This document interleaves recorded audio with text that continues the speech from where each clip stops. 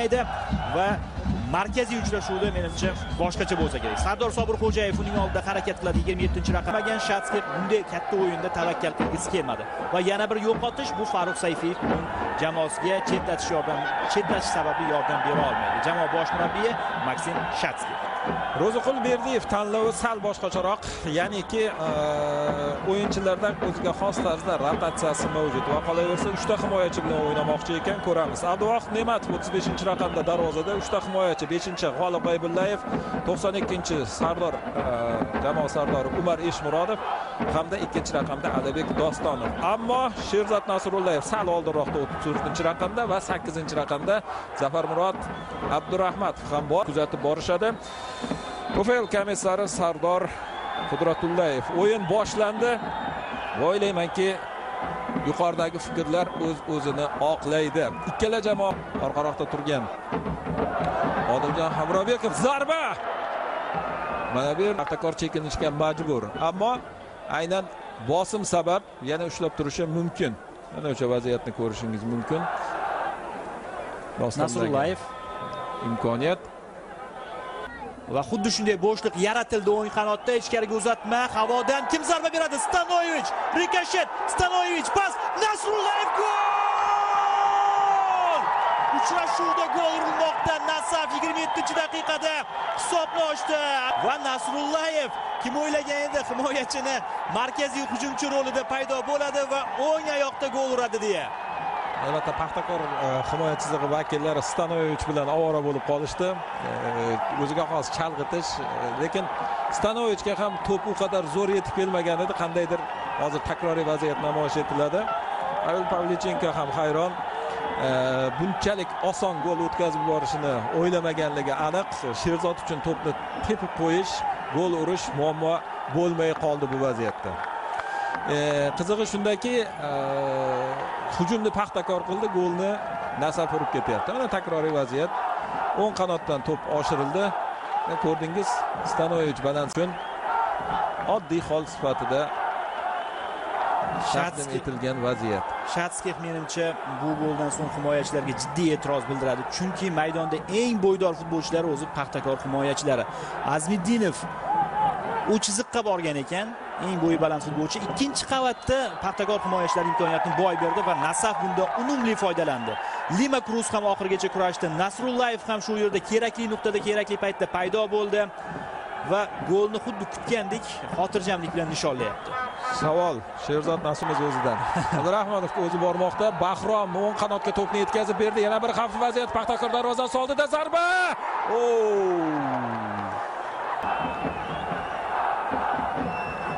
Paxtakor o'ziga qaytishi kerak. Paxtakor shatskiy o'rnidan turib bo'lgan. Yana bardavom qilgani bo'lsin. Banashakka atalgan to'p va hozir avtogolni ko'rishimizga bir baqiya qoldi. Abduvohid ne'matovdan o'ziga xos o'zining seyvi hujumi biz esa takroran ko'rishimiz mumkin. Kutmagandi darvozaga zarba berishni nasaf futbolchisi. Paxtakor futbolchisi bosim ostida shunday bo'ldi. Paxtakorning yurishi zarba azmiddinov yutib chiqdi.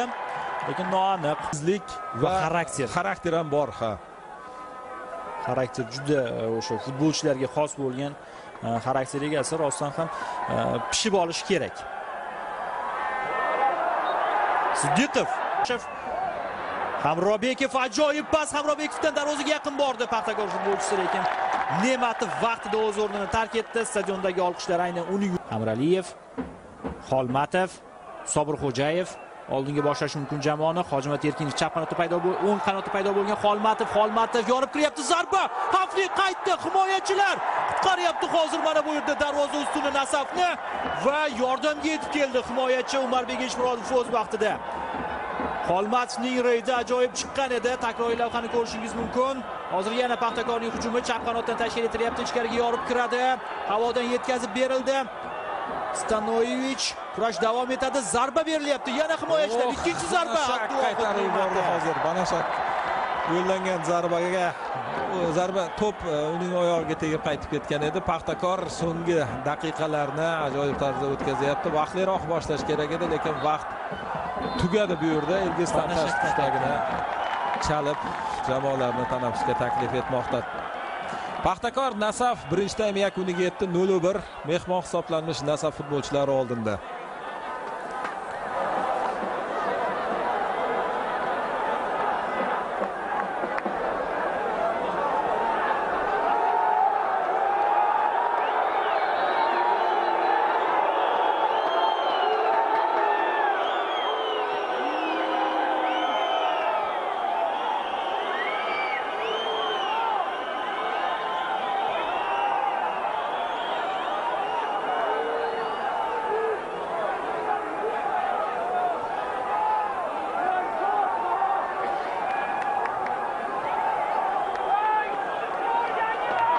Yapti bu ancha katta ish nasaf uchun. Paxtakor esa aksincha agar bugungi uchrashuvda g'alaba qozonadigan bo'lsa chempionlik uchun narsalarni ko'rishimiz mumkin. Alijonov yana bir zarba. Bu safar lima kruz o'zini tashladi. Ikkita futbolchini birinchi bo'lib xoldorxonov va cheranni chaqirdi. Shatskix bunga javoban omonov va oybek bozorovni chaqiryapti ya'ni hujumchilarga javoban hujumchilarni tashlaydi hozir ro'zi qulberdiyev maydonga. Bungacha esa lima kruz o'sha bosikka harakat qilyapti lekin erkinov o'zi bosim uyushtiryapti. Hozir paxtakor futbolchilari to'g'ri qilyapti. Ortiq bozorov oybek bozorov omonov omonov omonov lima Lima! voy voy voy voy yo darvozaga tep yo sheriklaringga oshir ikkinchi taymda nasaf xavfli vaziyatni vujudga keltirdi. 73 daqiqaga kelib shuncha payt himoyalangan edi. Nasaf tarkibida yana bir o'yinchi almashyapti 17 raqamda suhrob nurulloyev maydonga tushyapti. Aynan lima kruzning o'rniga cheran bilan birgalikda deyishimiz ham mumkin. Alijonov hoji akbar. Hoji akbar aldab o'tdi o'yinchilarni. Ichkariga uzatma havodan cheran zarba bera olmadi. Hojimat erkinov hisobni tenglashtirishga muvaffaq bo'lyapti. Paxtakor nihoyat yuqori bosimda raqib darvozasini ishg'ol etishga erishdi. Nasaf esa mehmonda harakat qilyapti. 0-1 hisobida oldinda borayotgan edi. Hisob tenglashdi. Hojimat erkinov. Bu yerda albatta e, cheran faktori ham bor. Aynan jarima maydoni ichida uning faolligi nasaf futbolchilari himoyasini biroz e'tiborni tortishi ortidan xuddi boyagi e, birinchi taymda urilgan golga o'xshash vaziyat bo'ldi. Sherzod nasrullayev uchun e, marka stanoyevich qalqon bo'lib turgan edi. Buning ortidan esa sherzod gol urgan edi. Paxtakor bosimni davom ettiraverdi va nihoyat maqsadga erishyapti. Nasaf chuqur himoyaga o'tib ketishi natijasida jazolandi hozir. 79 daqiqaga yozildi gol va qizig'i neftchi olimpik bahsida ham 79 daqiqada olimpik gol urdi. Olimpik oldinda boryapti. Bizda esa nasaf hujumga o'tishi mumkin. Mazgavoy oldinga chiqyapti qarshiliklar. Sherzod nasrullayev. Havodan uzatma. Akmal mazgavoy tomonga. Azbek omonov ortda qolib ketgan edi. Hamrobekov to'p uchun kurash. Davronov o'rnini tark etdi va jamoasi yaqinidagi sherigi bilan o'ynab qo'ya qoldi. Abdurahimov uzatma darvoza yaqiniga pavlichenko bor. Himoyachi bilan to'qnashuv. Bo'sh qolgan darvoza. Nishonga ola bilmadi hozir nasaf futbolchisi. Qulay imkoniyat ko'kka sovurilyapti azizbek omonov tomonidan. Azmiddinov esa darvozabon bilan jiddiy to'qnashuvda ishtirok etdi. Biz takroran ko'rishimiz mumkin mana shu vaziyatni. Hozir pavlichenko kuch bilan kelib urilgan edi o'z jamoadoshiga.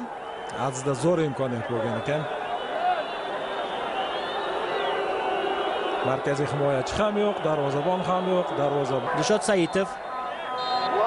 Tugadi demak 24 turning markaziy uchrashuvi chempionlik masalasi o'sha o'shaligicha qolyapti. Hali imkoniyatlar bor oldinda yana ikkita tur qolmoqda. Paxtakor 4 ochkolik farq bilan karvonboshilikni o'zida saqlab qolishga muvaffaq bo'ldi. Bugungi uchrashuvda 0-1 hisobida oldinda borayotgan nasaf futbolchilari yaxshi imkoniyatga ega bo'lib turishgan edi. Paxtakorning javob goli esa o'sha holatni aslicha qolishligiga sabab bo'lmoqda. Demak qadrli futbol muxlislari uchrashuv biru bir hisobida yakun topdi.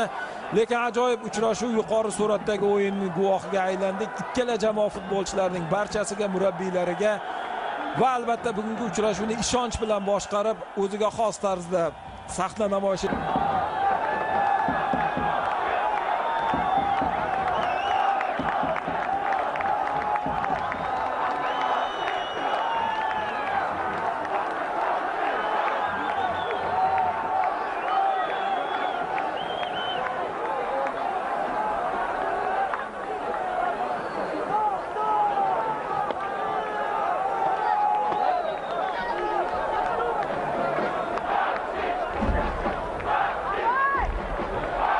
Insurance. Официально